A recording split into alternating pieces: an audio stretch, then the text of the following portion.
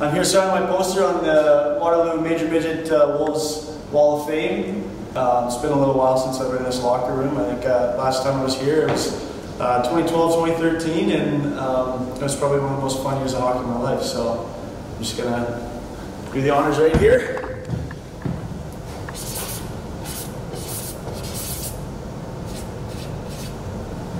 There we go. Just like that.